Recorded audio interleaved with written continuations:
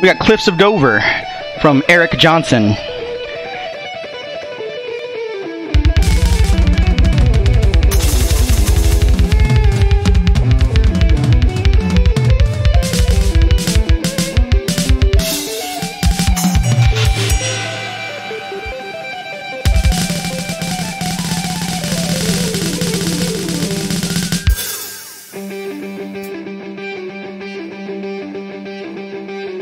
Where's this going? I don't know.